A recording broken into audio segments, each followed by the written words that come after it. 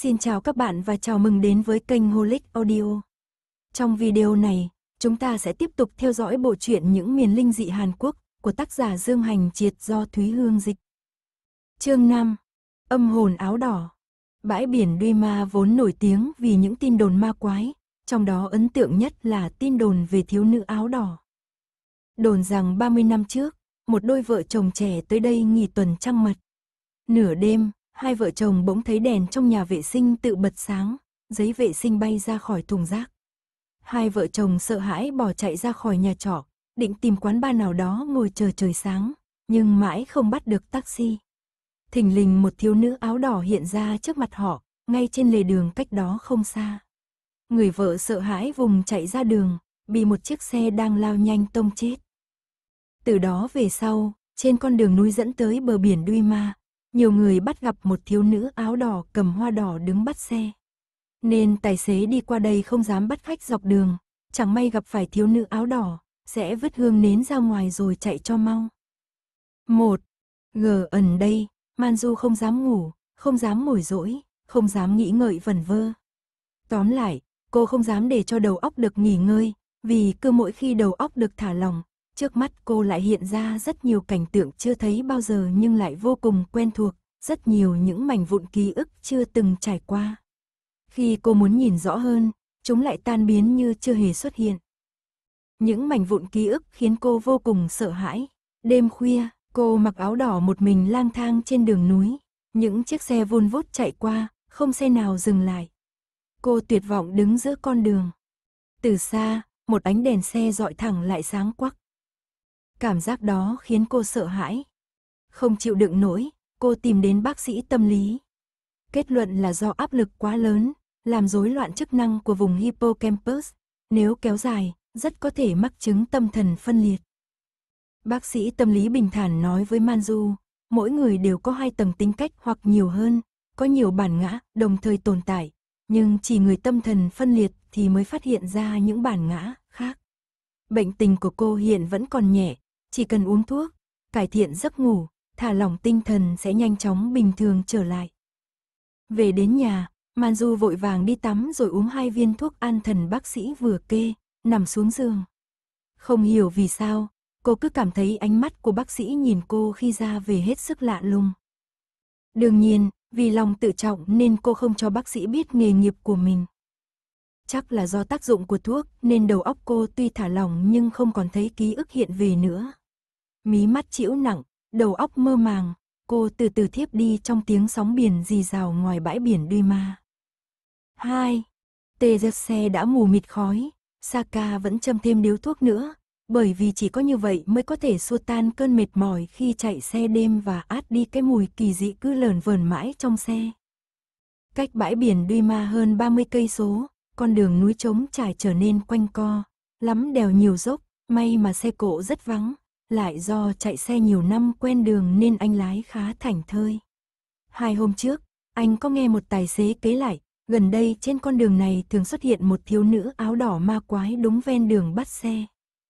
Bãi biển Duy Ma nổi tiếng vì những truyền thuyết ma quái, trong đó, nổi tiếng nhất chính là chuyện thiếu nữ áo đỏ. Những lời đồn thổi rùng rợn khiến cánh tài xế đêm hôm qua đây đều tăng tốc đi nhanh, không dám dừng lại bắt khách, lỡ gặp phải thiếu nữ áo đỏ thì vội quăng hương nến ra ngoài để chạy cho nhanh.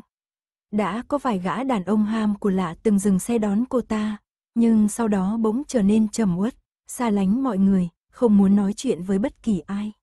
Mấy năm nay, thiếu nữ bắt xe không còn xuất hiện nữa, sự việc cũng dần trôi vào quên lãng. Nhưng dạo gần đây, tin đồn về thiếu nữ áo đỏ lại rộ lên, cánh tài xế nhanh chóng dỉ tay nhau nhắc nhở. 3. Kahimanju tỉnh dậy, trời đã sáng, cô vươn vai khoan khoái, lâu lắm rồi mới có được một giấc ngủ ngon, nếu không phải dậy đi làm, cô còn muốn ngủ cả ngày. Vệ sinh cá nhân xong xuôi, Manju vào bếp lấy giấm đổ vào bồn rửa ngâm tay, đến khi kẽ móng tay ngả sang màu nâu sẩm cô mới lấy nước gạo nếp ngâm sẵn từ hôm trước ra bôi mấy lần trên đầu mũi, mi mắt và huyệt thái dương, rồi lấy nửa bát ra xúc miệng.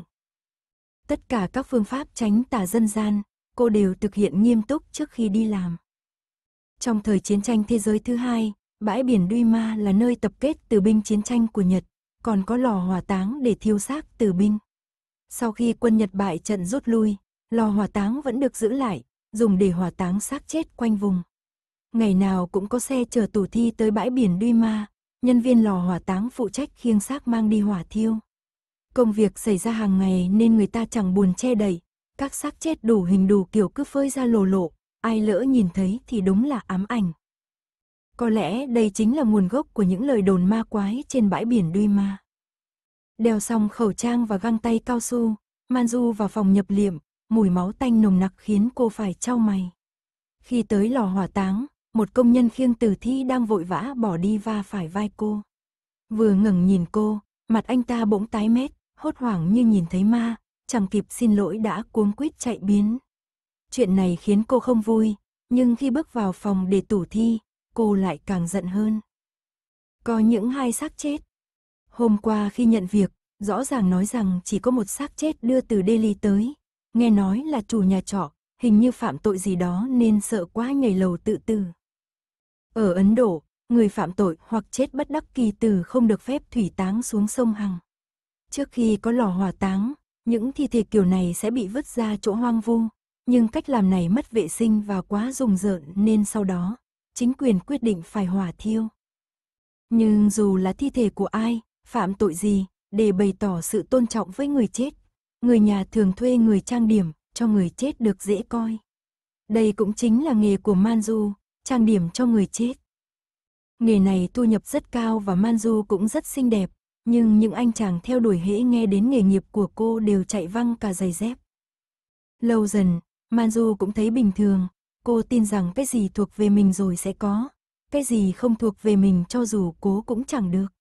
Và lại trong thâm tâm, cô luôn cảm thấy có một ai đó đang chờ đợi cô, chẳng qua là người ấy chưa xuất hiện mà thôi. Tự dưng có thêm một xác chết, khiến cô bực bội, nhưng sau đó, vẫn nhanh chóng tập trung vào công việc. Đầu tiên là cây xác nhảy lầu, đó là một người đàn ông trung niên, cú va đập khủng khiếp khiến phần mềm dập nát, xương gãy nghiêm trọng, xương ức đâm rách cả thịt lòi ra ngoài trắng ơn. Nhưng Manju đã quen rồi, làm nghề này lâu, thậm chí cô còn cảm thấy trang điểm cho người chết dễ chịu hơn người sống nhiều, chí ít thì họ chẳng bao giờ phàn nàn hay yêu sách bắt bẻ cô cả. Cô cầm con dao mổ cứa vào thi thể, cẩn thận nắn, giáp những chỗ xương gãy, sau đó khéo léo khâu lại. Trong khoang bụng, khoang ngực, nội tạng đã dập nát lẫn lộn trông như một món hầm hủ lớn, nhưng Manju không quan tâm. Công việc của cô chỉ là làm sao cho bề ngoài của thi thể trông được nguyên vẹn, đẹp đẽ. Khuôn mặt người chết không bị tổn thương nhiều lắm, nhưng hộp sọ đã vỡ nát, bẹp rúm, khiến cho công việc tạo hình hơi khó khăn. Manju quấn sợi dây ra quanh đầu người chết, siết chặt một đầu. Tiếng trèo trèo, răng rắc vang lên, hộp sọ bẹp rúm từ từ được nắn tròn, nhưng do sức ép trong hộp xương sọ, trong mắt bị đẩy tôi ra ngoài, trông rất ghê rợn. Cô vạch mí mắt ông ta ra, ấn trong mắt vào trong như cũ. Manju thở phào, coi như trình hình tạm xong, nhìn sang cái xác còn lại, vải liệm phủ kín, máu me bê bết. 4. Đờ ả mấy năm lái xe chờ tử thi, vận chuyển hàng ngàn xác chết, Saka từ lâu đã không còn biết sợ là gì. Nhưng chuyện xảy ra tối qua khiến anh vô cùng kinh hãi. Cuộc gặp vô tình tại lò hỏa táng sáng nay càng khiến anh choáng váng. Anh chạy vội lên xe nhưng không tài nào lái đi nổi. Anh đành đi vào một quán ăn cạnh lò hỏa táng, gọi một suất cơm nhưng không ăn miếng nào mà chỉ uống bia liên tục, mong sao có thể chấn tĩnh lại. Bồi bàn hỏi anh có muốn gọi thêm món hải sản nổi tiếng của bãi biển Duy Ma không? nhưng Saka chỉ gọi thêm vài chai bia rẻ tiền. Ngoái nhìn các thực khách đang vui vẻ ngồi ăn hải sản, Saka bỗng thấy dạ dày nhốn nháo. Hải sản ở bãi biển Duy Ma nổi tiếng bởi hương vị đậm đà béo ngậy, thịt dày, tươi ngon. Dù có tiếng là một bãi biển ma quái, nhưng vì yêu thích hương vị đặc biệt của hải sản nơi này nên thực khách khắp nơi vẫn liên tục tìm đến. Thế nhưng người dân địa phương thì lại chẳng mấy mặn mà ngày nào cũng thấy lò hỏa thiêu cho bay nghi ngút, theo gió bay cả xuống biển, họ đã biết rõ hải sản ở đây ăn gì nên mới béo nốc như vậy. Saka ngửa cổ uống nửa chai bia, mắt nhìn chằm chằm về phía lò hỏa táng. Nếu chuyện tối qua có thể coi là bất ngờ thì chuyện sáng nay lại khác hẳn. Hơn 5 giờ sáng, còn hơn 10 cây số nữa mới tới lò hỏa táng trên bãi biển Đuôi Ma. Đoạn đường núi đã sắp kết thúc, Saka liếc nhìn đồng đồ trên ghế phụ, thầm thở phào nhẹ nhõm. Mớ hương nến chuẩn bị sẵn chắc đêm nay không cần dùng đến nữa, lại tiết kiệm được ít tiền. Đúng lúc này, anh chợt nhìn thấy hình như ven đường có một cái bóng lướt qua. Vì xe chạy rất nhanh nên anh chỉ nhìn thấy lò mò hình một cô gái áo đỏ tóc tai rũ rượi đang vẫy tay về phía anh. Saka toát mồ hôi lạnh, vội hạ cửa kính định ném hương nến ra ngoài. Đúng lúc này, xe chạy đến khúc cua, đèn pha dọi vào vách núi đen chuỗi rồi lại trở lên mặt đường. Một bóng người áo đỏ thình lình hiện ra ngay giữa đường, vẫy tay. Saka tưởng mình vỡ mật, trong lúc hoảng loạn, anh nhầm chân ga là chân phanh, một cú dậm mạnh, xe lao vọt đi tông thẳng vào bóng người áo đỏ. Dầm, một tiếng khủng khiếp, cô ta văng đi thật xa, kính chắn gió máu văng tung tóe. Lúc này Saka mới kịp phanh xe lại, mồ hôi ướt đẫm, thở hổn hển mất một lúc rồi vội vàng phun nước lên kính chắn gió, khởi động cần gạt nước gạt qua gạt lại. Máu và nước hòa trộn vào nhau, nhòe nhòe trên nền kính. Nhìn qua lớp kính đỏ nhờ nhở, anh thấy cô gái áo đỏ nằm bất động trên đường, quần áo sũng máu, bên dưới là một vũng máu lênh láng. Saka nắm chặt vô lăng, nhìn chân chối. Anh không biết chắc cô gái đã chết hay chưa, nhưng anh nghĩ đến một điều, cô gái này tuyệt đối không phải là ma, mà là người thật. Khi anh đang phân vân có nên xuống xe cứu người hay không thì bục, một tiếng, trên kính của xe bên ghế phụ chợt nhô lên một bàn tay dính máu. Một mớ tóc từ bên dưới cửa xe trồi lên, tiếp theo đó là khuôn mặt bê bết máu, hai con mắt tôi ra như mắt cá chết dán lên cửa xe, hai dòng lệ từ từ chảy xuống. Người phụ nữ đang nói điều gì đó, từ trong miệng phả ra làn hơi nước bám vào cửa kính xe. Saka kinh hãi đến chết lặng, anh không nghe thấy cô ta nói gì, nhưng trong đầu anh lại vang lên một câu rất rõ, anh có nhận ra tôi không? Là tôi đây, Saka. Á, Saka rú lên kinh hoàng, liếc về phía trước, vũng máu vẫn còn đó, nhưng cái xác không thấy đâu nữa. Anh nhấn mạnh chân ga, chiếc xe lao vọt đi, cô gái kia há miệng hét lên, tay cố bám vào cửa kính, cơ thể bị hất văng đi, chỉ còn lại một vệt dấu tay quệt dài đỏ loét. Chạy như điên hết đoạn đường núi, Saka mới dậm mạnh cần phanh. Xe khựng lại đột ngột, chán anh đập đánh cộp vào kính chắn gió. Những vệt máu in trên cửa sổ xe bị gió tạt dê dài ngoằn ngoèo như những sợi dây leo đẫm máu. Saka hít một hơi thật sâu, cố gắng chân tĩnh lại rồi thắp hương đốt nến, hạ cửa kính xuống vứt ra ngoài. Phụt, hương nến cứ như được tẩm xăng, bốc cháy dữ dội thành một quầng lửa lớn xanh lên lét. Saka thở hắt ra, ngọn lửa rất tập trung, cho dù thứ vừa gặp phải là ma hay người thì nó cũng đã nhận lấy hương nến, vậy thì sẽ không quấy dày người cúng nữa. Còn nếu ngọn lửa bay tàn mát, chứng tỏ hương nến đã bị cô hồn cướp đi. Saka số xe, lau sạch vết máu, lại lục cầu nguyện một hồi nữa mới nổ máy tiếp tục đi tới lò hỏa táng.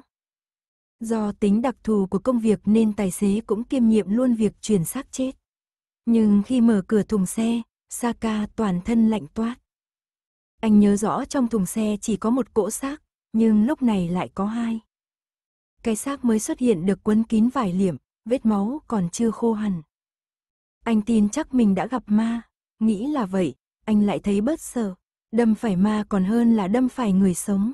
Tài xế lái xe chờ tử thi lâu năm thường gặp rất nhiều chuyện ma quái. Trong thùng xe vọng ra tiếng đập huỳnh huỳnh hoặc tiếng khóc lóc, nhìn qua gương chiếu hậu bỗng thấy hàng ghế sau có người đang ngồi gục đầu. Do vậy, tài xế lái xe chờ tử thi đều phải dắt lưng, một vài bí quyết. Saka ấy dao găm châm vào đầu ngón trỏ, đưa lên miệng mút, nhả một ngụm máu lên cái xác mới rồi châm ba điếu thuốc, lần lượt để lên đầu và hai bên bả vai. Lúc đó còn rất sớm, anh đã làm mọi việc xong xuôi mà nhân viên của lò hỏa táng vẫn chưa tới. Saka chờ tới khi ba điếu thuốc cháy hết mới trèo vào thùng xe, khấn vái mấy cái rồi vén vải liệm ra nhìn. Nam, C ác viên khác trong lò hỏa táng rất ngạc nhiên. Bình thường, Manju trang điểm cho xác chết rất nhanh, nhưng hôm nay chờ suốt cả sáng vẫn chưa thấy cô bước ra khỏi phòng. Mọi người sốt ruột, đẩy cửa bước vào thì thấy Manju đờ đẫn ngồi bệt dưới đất, trên tay cầm con dao mổ nhọn hoắt, lưỡi dao máu nhỏ tong tòng. Xác người đàn ông đã được trang điểm xong, Trên mặt được đắp một lớp bột sắp trắng toát che đi hoàn toàn vẻ thống khổ trước khi chết, môi đỏ tươi như vết máu. Nhưng cái xác còn lại khiến cho anh nhân viên lò hỏa táng vừa nhìn đã rú lên kinh hãi. Khuôn mặt tử thi bị rạch nát như, máu thịt lẫn lộn, không còn nhìn rõ mắt mũi mồm miệng. Tiếng hét khiến Manju choàng tỉnh, cô bật dậy, tay cầm dao mổ khua khoáng loạn xả, gào thét ầm ĩ, tôi là ai? Tôi là ai? Bỗng nhiên, cô nhìn đăm đăm vào con dao, lưỡi dao sáng loáng như gương phản chiếu khuôn mặt méo sạch vì sợ hãi. Manju trợn trừng mắt nhìn, từ từ dí sát lưỡi dao vào mặt mình. Anh nhân viên kia sợ quá, chộp lấy cổ tay của cô rồi giằng lấy con dao. Manju trợn mắt nhìn anh ta, hét toáng lên, anh là ai? Tôi là ai? Anh ta còn chưa kịp phản ứng, Manju đã hai mắt trợn ngược, lăn ra ngất xỉu. Từ trong túi áo của cô rơi ra một tờ giấy, là tờ kết quả chẩn đoán. Ông chủ lò hỏa táng được tin cũng hộp tốc chạy lại, cầm tờ giấy lên đọc, thở dài rồi gọi điện tới bệnh viện. Không lâu sau, tiếng còi xe cấp cứu rú inh ỏi lại gan. Màn dù nằm bất tỉnh trên cáng, được nhân viên y tế khiêng lên xe chở đi. Thường xuyên tiếp xúc với người chết gây ra áp lực tinh thần quá lớn. Ông chủ giao tờ kết quả chẩn đoán cho bác sĩ đi theo xe, áy náy giải thích. Chúng tôi đã chưa quan tâm đúng mức tới tâm lý nhân viên, sau này sẽ cải thiện. Mong bác sĩ giữ bí mật giúp cho, không thì chẳng ai dám tới đây làm nữa. Xe cấp cứu lại hú còi ẩm ĩ chạy đi trước ánh mắt tò mò, nghi hoặc của những người xung quanh. Saka lặng im chứng kiến tất cả, vội vàng thanh toán tiền cơm rồi lên xe phóng đi. 6. N ửa tháng sau, ngày 15 tháng 7, bãi biển Duy Ma, nhà Manju. Manju, hôm đó cậu đã nhìn thấy cái gì vậy? Dalaha đặt cốc sữa nóng và mấy viên thuốc vào tay Manju. Manju lắc đầu, im lặng uống thuốc. Dalaha hết sức nghi hoặc, mới chỉ mấy ngày mà Manju gầy sọp hẳn đi, nếu không phải trong ánh mắt còn có một chút ánh sáng, hẳn cô đã trở thành một bộ xương di động.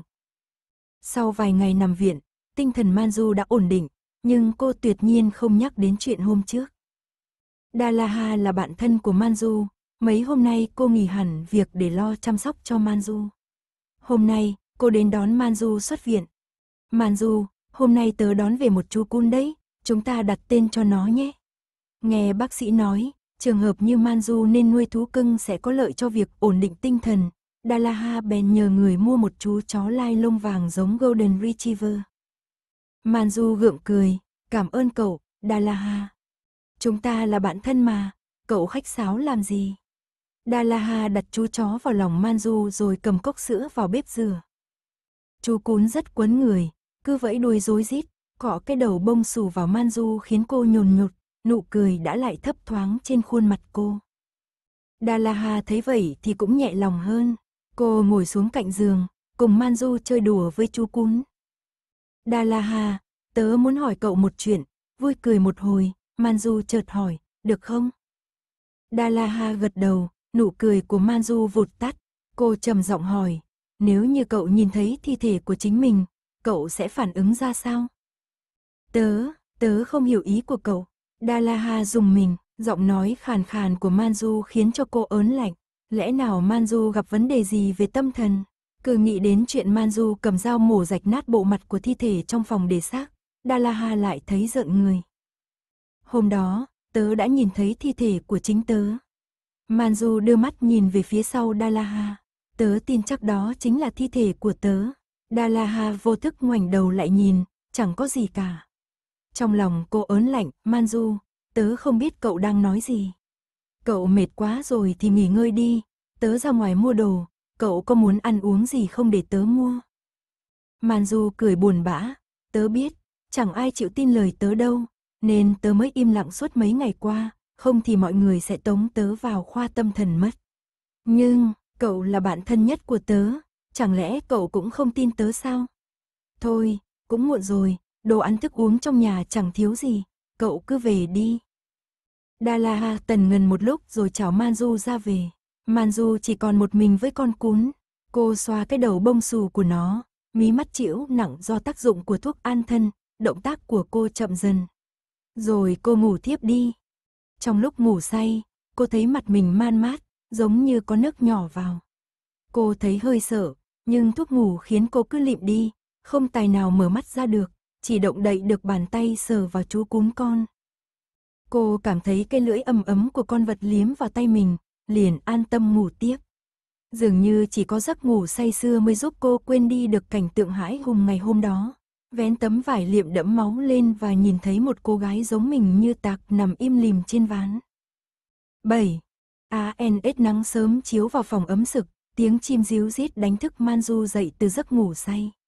Cô đưa tay dụi mắt, bỗng thấy tay mình dính dính, còn ngửi thấy thứ mùi mà cô đã quen thuộc tại nơi làm việc. Cô lập tức mở choàng mắt, thấy mình đang nằm trên một vũng máu. Trước mắt cô, trên chiếc đèn chùm treo trên trần nhà, chú cún còn bị sợi dây thừng siết chặt vào cổ, cái bụng mở phanh, ruột gan lòng thòng đẫm máu.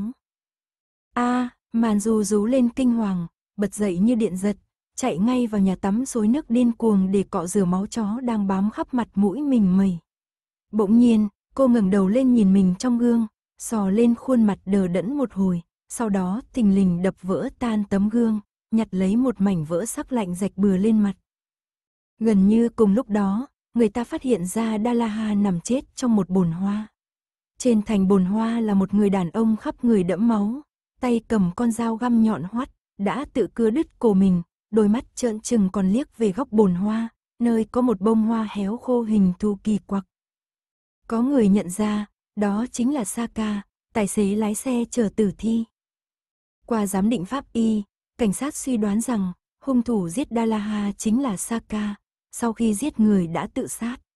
Manju cũng đã cưa cổ tự sát trong phòng, dưới gầm giường và trên xác con chó cũng phát hiện ra lông tóc và dấu vân tay của Saka. Không ai suy đoán được nguyên nhân của vụ án ly kỳ đẫm máu này. Những cây chết rùng rợn nối tiếp nhau khiến cho bãi biển Duy Ma càng trở nên đáng sợ. Có người nói rằng, tại Saka và Manju thường xuyên tiếp xúc với tử thi nên bị ma nhập. Thế tại sao Dalaha cũng chết? Một ông cụ còn dẫn ra một truyền thuyết có vẻ chẳng liên quan đến chuyện này, máu chó hàng ma. 8. Hát ai ngày sau, đêm khuya, ánh trăng lạnh lẽo, gió biển ẩm ướt đã xua tan mùi máu tanh lấn quất trong thành phố. Bên cạnh bồn hoa trên bãi biển Duy Ma, một anh thanh niên người Á Đông đang đứng đó, tiếc nuối nhìn bông hoa đã héo khô. Lát sau, anh ta từ từ ngồi xuống, cẩn thận sới đất lên, bứng lấy bông hoa khô đặt trong lòng bàn tay. Anh có biết đó là hoa gì không? Một giọng nói lạnh lùng vọng lên từ sau lưng. Chỉ có bãi biển duy ma dày đặc oan hồn mới sinh ra được loài hoa bì ngạn 30 năm mới nở một lần. Tiếc là tôi đã tới muộn hai ngày. Anh chàng chạm tay vào những cánh hoa khô xác, nói. Thế anh có biết nguồn gốc của nó không? Người đàn ông kia vẫn giấu mình trong bóng tối, trong kính dày cộp lấp lóa ánh trăng giá lạnh. Chỉ biết sơ sơ thôi, anh chàng cười đáp, ông muốn kể cho tôi nghe sao? Hoa bỉ ngạn còn gọi là hoa Manjosaka, là loài hoa bị người đời nguyền rùa Tương truyền hoa bỉ ngạn mọc ở ven bờ suối vàng ở âm ti, có đặc điểm là lá không thấy hoa, hoa không thấy lá, lá và hoa không bao giờ gặp nhau. Hoa bỉ ngạn mọc ven đường xuống suối vàng là cảnh tượng duy nhất trên con đường âm hồn xuống cõi âm ti. Hoa hỉ ngạn được Manju và Saka bảo vệ, hai người họ lần lượt bảo vệ cho lá và hoa. Hai người đơn độc canh gác, thầm nghĩ, vẫn có một người tương tự làm công việc tương tự, nên cũng không thấy cô đơn. Cứ thế trải qua hàng ngàn hàng vạn năm, Manju và Saka đã canh giữ hoa bỉ ngạn suốt hàng ngàn hàng vạn năm và họ đã biến thành loài hoa này từ lúc nào không biết. Vào thời khắc họ gặp nhau, cũng chính là lúc hoa và lá cùng xuất hiện. Hương thơm của sự chia ly và đau khổ nhanh chóng lan tỏa khắp các con đường dẫn tới âm phủ, chẳng mấy chốc đã bay tới tận âm ti. Do hoa lá cùng xuất hiện nên hương thơm ấy khiến cho những âm hồn đã uống canh mạnh bà và đi qua cầu nại hà lại nhớ được về kiếp trước. Thế là lời nguyền xuất hiện. Hoa và lá luân hồi một vòng, trong mỗi vòng luân hồi đều có thể gặp nhau, nhưng không thể ở bên nhau. Khi hoa bỉ ngạn nở, giữa Manju và Saka sẽ có một người đầu thai ở kiếp người. Khi hoa bỉ ngạn khô héo, sẽ có một người đi xuống âm ti, gặp lại hoa bỉ ngạn trên đường xuống suối vàng và nhớ về kiếp trước. Nhưng lúc này, người còn lại đã luân hồi vào cõi người. Tùy họ vẫn nhớ thương nhau, nhưng mãi mãi không bao giờ gặp nhau. Thế là trong kiếp người, họ cứ mãi đi tìm nhau và bị ám ảnh bởi rất nhiều ký ức trong kiếp trước. Cứ mỗi khi sắp được gặp nhau, họ lại phải trải qua những thử thách như ngờ vực, sợ hãi, phản bội, ghen tuông, tham lam, chết chóc, mỗi kiếp một khác. Chỉ khi vượt qua được những thử thách này, họ mới được ở bên nhau chỉ trong một thời gian ngắn ngủi. Thật là một mối tình đẹp đẽ mà thê lương. Anh thanh niên cầm bông hoa bỉ ngạn héo khô vùi xuống đất. Thế họ đã được ở bên nhau chưa? Người đàn ông trong bóng tối thở dài, hồi lâu mới nói, những thử thách đó, ai mà vượt qua nỗi kia chứ? Chẳng lẽ yêu nhau mà chỉ có thể cách biệt nhớ nhung chứ không thể ở bên nhau? Anh thanh niên suy tư, phải chăng những ai đầu thai từ hoa bỉ ngạn chỉ có thể miệt mài tìm kiếm khắp thế gian, đến khi nhận thấy không thể tìm thấy tình yêu đích thực, lại sẽ ôm hận mà chết. Có lẽ ấy, giọng người đàn ông thì thầm. Ông là ai? Anh thanh niên cảnh giác hỏi. Ta ư, ta chỉ là người canh gác hoa bỉ ngạn mà thôi. Người đàn ông từ từ tan biến vào bóng tối, tựa như chưa bao giờ tồn tại. Liên tục chứng kiến bi kịch xảy ra mà không thể ngăn chặn, ta mệt mỏi quá rồi. Anh thanh niên ngước nhìn bầu trời sao lấp lánh, hít vào một hơi thật sâu. Bầu trời rực rỡ ánh sao phản chiếu xuống mặt biển đêm tối thẫm, đứng từ xa nhìn lại, bãi biển Duy Ma hẹp dài với bò cát vàng rực tựa như một dòng sông âm phù cắt đôi hai cõi âm dương. Phần này đến đây là hết. Mời các bạn theo dõi tiếp các video khác trên kênh. Nếu các bạn yêu thích kênh, hãy nhấn theo dõi nhé. Cảm ơn các bạn.